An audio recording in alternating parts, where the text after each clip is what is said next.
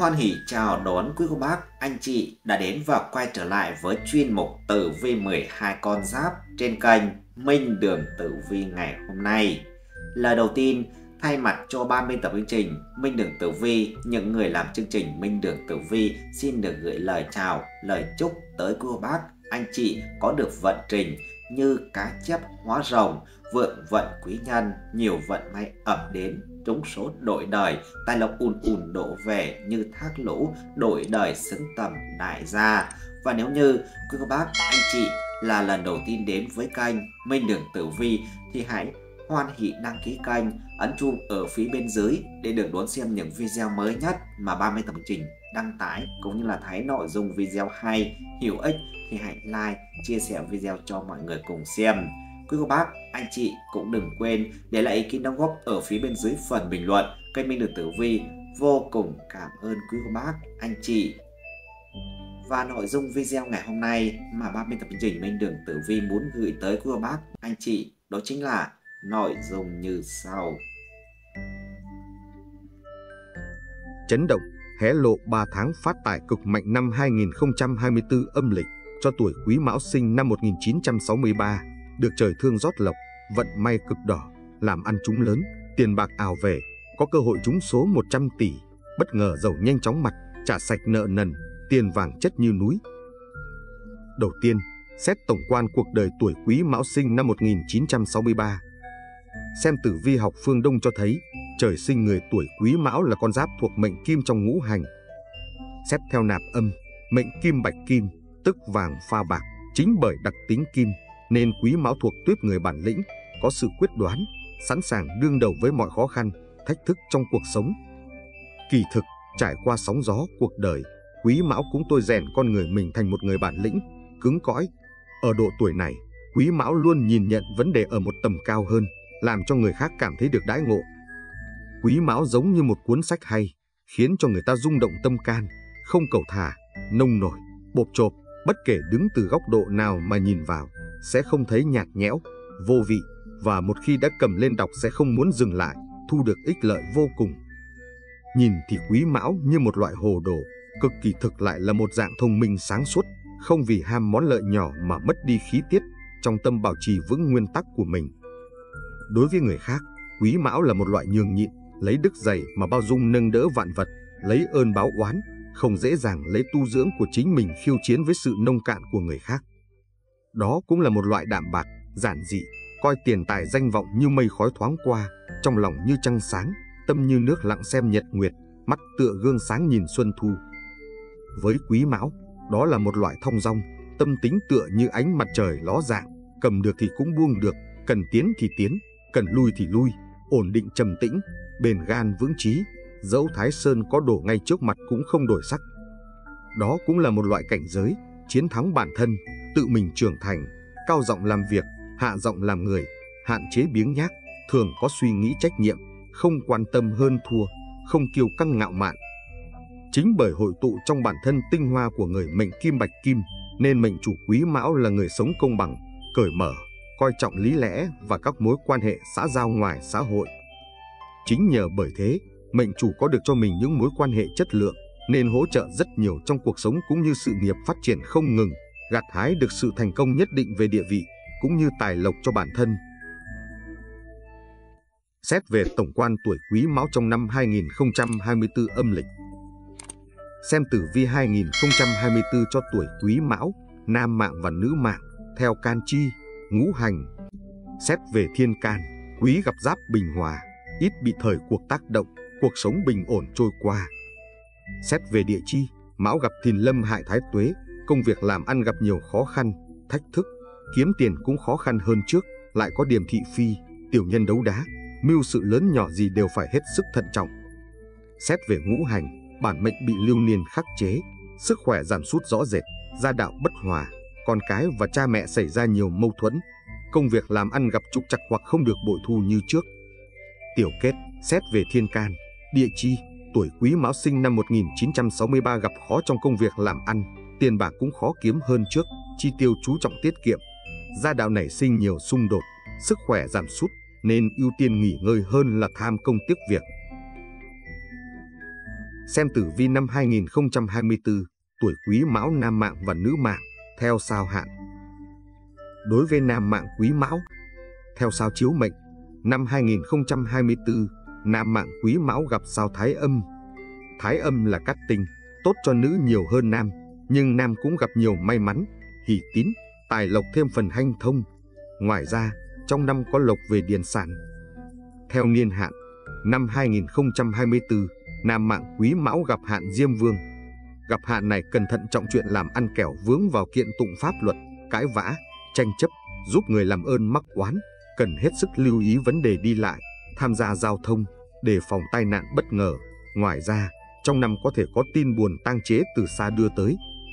Tiểu kết, năm có cắt tinh thái âm chiếu, khó khăn phần nào được chiết giảm, công việc làm ăn có người giúp sức, dù có áp lực đến mấy cũng may mắn vượt qua. Trong năm có lộc về đất cát, có thể thử sức ở lĩnh vực này. Có điều, hết sức thận trọng kẻo vướng tranh chấp, kiện tụng. Sức khỏe không có vấn đề nghiêm trọng nhưng cần đề phòng tai nạn bất ngờ. Gia đình hai bên nội ngoại có tin buồn. Đối với nữ mạng quý mão, theo sao chiếu mệnh, năm 2024, nữ mạng quý mão gặp sao Thái Bạch. Thái Bạch là hung tinh chủ về hao tán tiền của, dân gian có câu Thái Bạch quét sạch cửa nhà, ám chỉ tiền bạc tiêu xài nhiều trong năm. Ngoài ra, công việc kinh doanh có tiểu nhân quấy phá, mất tiền mất của, có thể trắng tay, đề phòng quan sự. Xấu nhất là tháng 2, năm, 8 âm lịch và kỵ màu trắng quanh năm. Theo niên hạn, năm 2024, nữ mạng quý mão gặp hạn thiên la. Gặp hạn thiên la dễ bị phá phách không yên, đau ốm không khỏi, hao tốn nhiều tiền bạc để thuốc thang chạy chữa. Tiểu kết, năm có hung tinh chủ về hao tán chi phối, báo hiệu tiền bạc có biến động mạnh, tiêu xài nhiều trong khi làm ăn khó khăn hơn trước. Công việc làm ăn gặp tiểu nhân quấy phá, hợp tác thất bại, có thể vướng tranh chấp, kiện tụng, dễ bị người xấu dụ dỗ hoặc lừa gạt tiền bạc, có thể ốm đau liên miên không khỏi, tốn nhiều tiền của để chữa trị. Xem tử vi 2024, tuổi Quý Mão, nam mạng và nữ mạng, theo vận niên.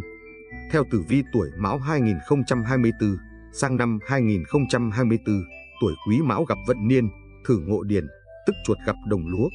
Hình ảnh mang ý nghĩa về sự vương giả, thịnh vượng về tài lộc, chuột được về ruộng lúa, ăn tha hồ không bao giờ cho hết, tiền bạc không cầu cũng tới, gặp nhiều vận may liên quan đến tiền bạc như trúng thưởng, trúng số. Về tình cảm, đây sẽ hứa hẹn là một năm gia đạo hài hòa, bề dưới kính trọng bề trên, không có quá nhiều chuyện phiền muộn xảy ra, có chăng cũng chỉ lời qua tiếng lại vài câu rồi đâu lại vào đó, gia đình êm ấm. Về phương diện sự nghiệp, Tử vi năm 2024 dự báo sự nghiệp của người tuổi Quý Mão đạt được những bước tiến nhanh chóng trong năm 2024 này. Một phần là nhờ sự ảnh hưởng tích cực của cục diện tam hợp, nhưng phần lớn là do sự quyết tâm và chăm chỉ của bạn tạo thành. Năm nay, bản mệnh xây dựng được các mối quan hệ xã giao rộng rãi và tốt đẹp. Con giáp này đối xử với mọi người một cách chân thành và cởi mở. Nhờ vậy mà đi đến đâu bạn cũng nhận được sự yêu mến của mọi người. Thậm chí những khó khăn, thử thách xuất hiện cũng chẳng còn quá đáng sợ như trước đây. Cũng là thời điểm thích hợp để bản mệnh học thêm những lĩnh vực mới mẻ hoặc thử sức bản thân ở những nội dung công việc mới. Có thể quá trình khởi đầu, bạn sẽ gặp phải một vài khúc mắc, song chỉ cần bình tĩnh đối diện, bạn sẽ làm quen được và bắt vào guồng quay công việc vô cùng nhanh chóng. Với người làm lãnh đạo, bạn tin tưởng vào những quan điểm và định hướng của bản thân, nên dẫn dắt tập thể làm theo ý của mình. Sự quyết đoán của bản mệnh giúp tập thể có những bước phát triển thuận lợi, thậm chí là những người dẫn đầu trong một xu hướng nào đó. Tất nhiên, trong năm không chỉ toàn những điều thuận lợi, ngũ quỷ và kiếp tài ẩn tàng là dấu hiệu cho thấy quanh bạn có những kẻ hẹp hòi, đố kỵ với những thành công mà bạn gặt hái được, từ đó kiếm cớ gây chuyện, làm hạ thấp uy tín của bạn. Điều con giáp này cần làm là bình tĩnh ứng phó, chớ nên để cảm xúc tiêu cực kiểm soát hành động của mình. Về phương diện tài lộc, người tuổi Quý Mão có thể chuẩn bị tinh thần để đón nhận tin vui trong vận trình tài lộc ở năm 2024 này.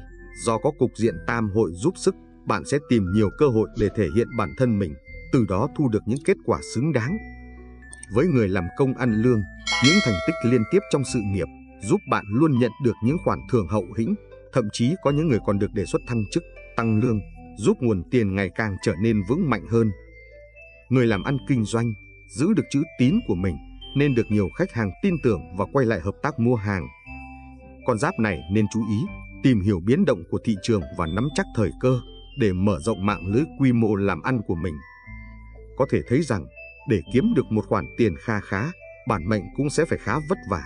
Song vì bạn luôn có động lực nên chẳng ngại khó khăn. Một vài người quyết đoán còn có thể trở thành người lãnh đạo, người dẫn đầu trào lưu, khiến đồng tiền đổ về túi nhanh chóng hơn hẳn. Tuy nhiên, dù làm ăn thuận lợi thế nào, bản mệnh cũng cần phải luôn chú ý đến tác động xấu của hung tinh ngũ quỷ.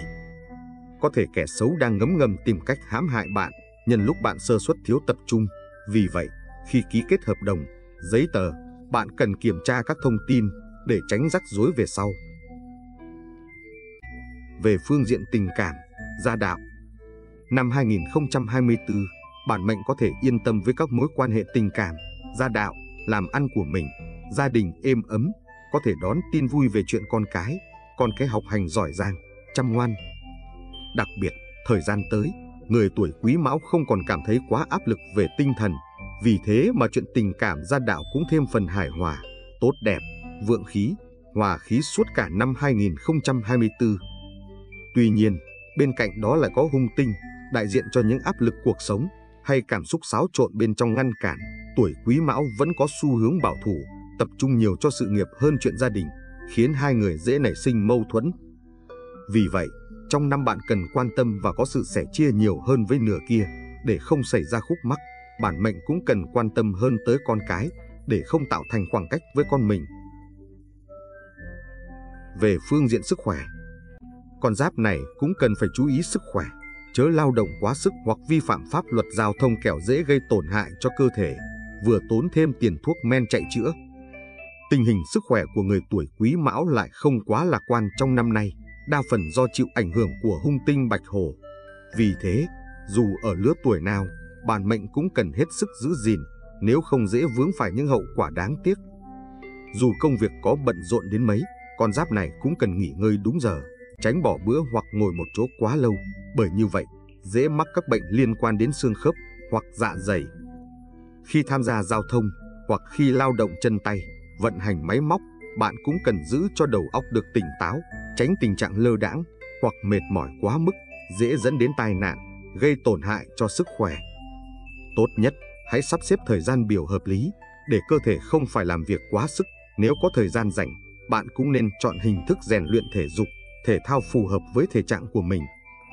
Vâng, thưa quý vị, vận tử vi tuổi Quý Mão 2024 khá cát lành, đón nhận không ít may mắn, các phương diện cuộc sống không có nhiều thử thách hay khó khăn, thậm chí nếu gặp phải trở ngại, cũng có quý nhân ứng cứu kịp thời, nên hành sự thuận lợi hứa hẹn đạt được thành công đáng ngưỡng mộ.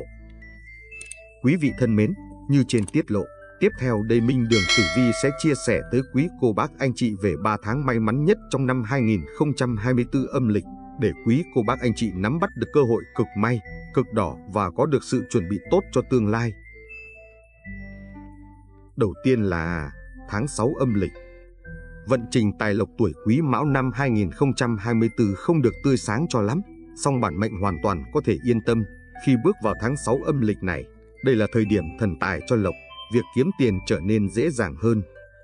Trước đó, quả thật là thời gian khó khăn với con giáp này. Khi mà hết thầy lần này tới lần khác, những chú mèo phải đụng đá tảng, vất vả nhiều và mất nhiều thời gian, công sức mà chưa chắc đã được hưởng thành quả của mình. Công việc có những chuyển biến khá tốt, bản mệnh đã tìm lại được quỹ đạo đúng đắn cho mình, phát huy được năng lực vốn có, đồng thời khai phá thêm những tiềm năng còn ẩn giấu phía sau. Nhờ những đóng góp trong công việc và thành quả lớn mà bạn đã đạt được, con giáp này sẽ có thêm thu nhập ổn định hơn, có thể được cấp trên khen thưởng hoặc tạo cơ hội để khẳng định mình ở những lĩnh vực mới. Tiếp theo là tháng 9 âm lịch. Đi qua những ngày tháng ảm đạm, bước sang tháng 9 âm lịch, tháng phát tài của người tuổi Quý Mão cũng đến, nhị hợp phù trợ, con giáp này sẽ có thể thoải mái chi tiêu theo ý mình, không cần phải cân đo đong đếm quá nhiều. Yên tâm là dù bạn làm kinh doanh hay đang là dân làm công ăn lương thì cũng đều có thu nhập nổi trội. Điều này có được là nhờ bản mệnh biết trước thời cơ để thể hiện sự nổi bật cùng như ưu thế của mình, thắng áp đảo trong các cuộc đua tranh. Dân văn phòng sẽ thấy đây là những mối quan hệ xã giao trước đó mình dày công vun đắp, giờ đã phát huy tác dụng. Bạn có thể nhận được những lời mách nước hay sự giúp đỡ hiếm có để kịp thời đưa ra những quyết định đúng đắn ảnh hưởng tới vận mệnh của mình. Riêng với người làm kinh doanh thì ngoài yếu tố may mắn đều quyết định sự thành công về tiền bạc của bạn trong tháng này, chính là độ nhạy bén cùng sự quyết đoán, dứt khoát của bản thân. Chính bạn chứ không phải ai khác là người mang tài lộc về cho mình. Đứng trước những cơ hội tiềm ẩn, bạn đã nhanh chóng tính toán được các phương án dự phòng và quyết tâm dấn thân. Chuyện làm ăn đôi khi nhanh chậm một bước đã làm nên sự nghiệp, vì thế mà sự quyết đoán lần này mang về tin vui tài lộc khổng lồ cho những chú mèo khi mà nhờ chấp thời cơ đúng đắn để bung lụa, con giáp này đã thắng lớn trở về. Ngoài ra, điểm báo tử vi năm 2024 còn cho thấy con giáp này đang đứng trước cơ hội đầu tư khá lớn. Nếu có tiền bạc dư dôi, tuổi quý mão có thể xem xét để đầu tư vào các lĩnh vực tiềm năng. Đừng tham lam, cũng đừng ham cái lợi trước mắt, tiền rồi cũng sẽ đẻ ra tiền mà thôi. Cuối cùng là tháng 10 âm lịch. Trong những tháng cuối năm, thì tháng 10 âm là tháng tài lộc lý tưởng nhất của tuổi quý mão. Con giáp này có thể giải quyết hết những mối lo toan tài chính trước đó của mình nhờ những khoản thu nhập trong thời điểm này. Tài lộc trong tháng đa phần tới từ chính tài, từ công việc chính của bản mệnh. Con giáp này đã có nhiều cố gắng và nỗ lực không ngừng nghỉ để chiến thắng nghịch cảnh, cũng chiến thắng chính bản thân mình, giải quyết gọn nhẹ, êm xuôi những vấn đề tồn động trước đó trong một khoảng thời gian, lại đảm bảo chất lượng công việc tuổi mão sẽ được cấp trên nhìn nhận với một con mắt khác. Cơ hội thăng chức, tăng lương sẽ đến với bản mệnh nhờ những thành tích mà bạn đạt được trong tháng 10 âm lịch này. Tuy nhiên, con giáp này cần phải biết cân đối chi tiêu, đừng xa đà vào những thứ không thực sự cần thiết. Tài vận trong năm không thực sự sáng sủa, hãy phòng trừ khi khó khăn, có khoản tiết kiệm để dùng khi cấp bách. Quý vị thân mến, tiếp theo đây là cách hóa giải vận hạn trong năm 2024 giúp Quý Mão có được một năm may mắn, giàu có và bội thu về tài lộc. Đối với nam mạng Quý Mão, kích hoạt các tính của sao thái âm cho nam mạng Quý Mão bằng phong thủy.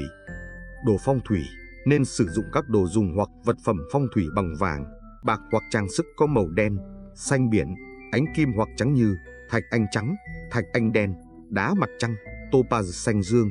Đồng thời hạn chế sử dụng các đồ trang sức hoặc vật phẩm màu xanh lá cây hoặc vàng, nâu.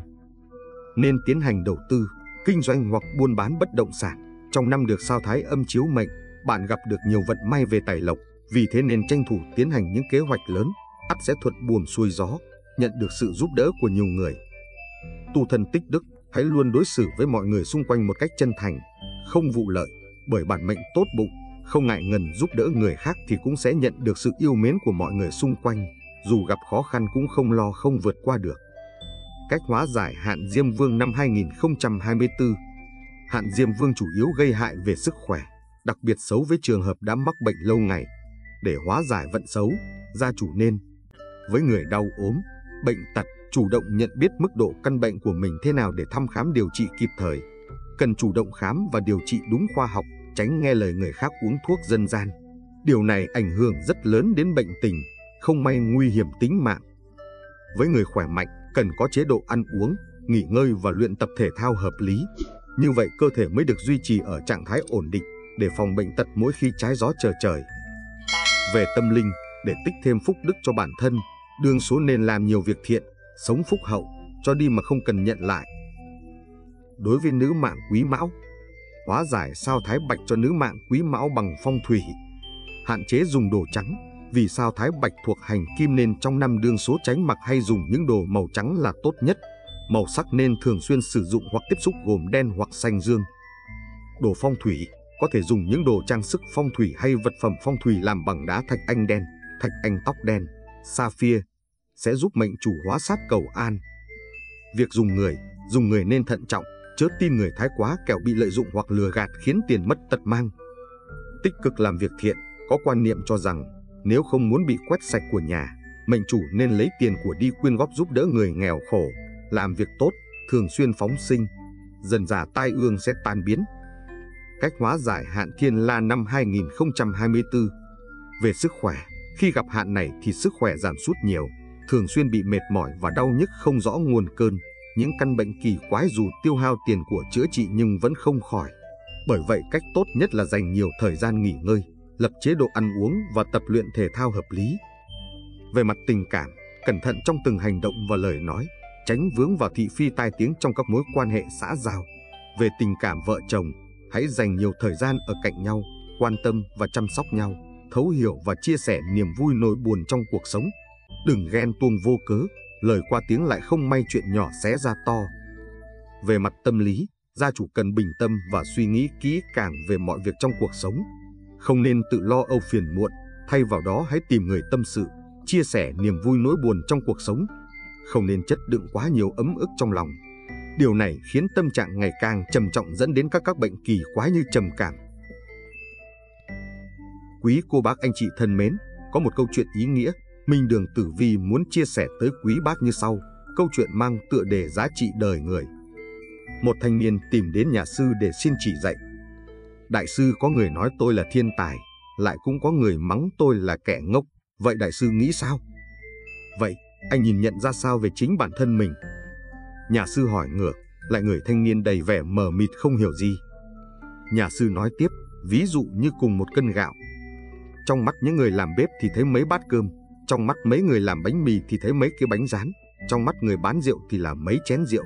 Gạo vẫn là gạo, cũng như vậy anh vẫn là anh. Anh có năng lực giỏi giang ra sao, đều dựa vào cách anh nhìn nhận về bản thân mình. Nghe xong lời nhà sư, thanh niên bất ngờ mới thấu tỏ thông suốt. Bài học suy ngẫm, không sợ bị người khác coi thường, chỉ sợ bạn tự coi thường chính mình. Ai nói bạn không có giá trị, không một ai có thể quyết định cuộc đời bạn sẽ ra sao. Bạn lựa chọn con đường nào để đi, nó sẽ quyết định tương lai cuộc đời bạn sẽ phát triển theo hướng như thế nào. Giá trị lớn nhất của đời người chính là việc chúng ta có thể tự ý thức được giá trị của bản thân trong cuộc sống hay không. Vâng, quý vị thân mến, vừa rồi là chia sẻ của Minh Đường Tử Vi về vận trình tử vi của người tuổi Quý Mão sinh năm 1963 trong 3 tháng phát tài năm Giáp Thìn 2024. Hy vọng rằng với những chia sẻ ngày hôm nay của chúng tôi, quý vị có thể gia tăng được may mắn, đón cát lành, tránh điểm giữ trong thời gian tới. Nếu có băn khoăn hay thắc mắc, quý vị có thể để lại thông tin xuống phía dưới phần bình luận để ban biên tập chương trình có thể luận giải chi tiết trong thời gian sớm nhất. Nếu thấy hay, quý vị cũng đừng quên nhấn vào nút đăng ký kênh để ủng hộ cho ban biên tập chương trình, đồng thời nhấn vào quả chuông bên cạnh để cập nhật những thông tin sớm nhất từ chúng tôi. Chương trình đến đây là hết. Xin chào tạm biệt và hẹn gặp lại quý vị trong những chương trình lần sau. Xin trân trọng cảm ơn.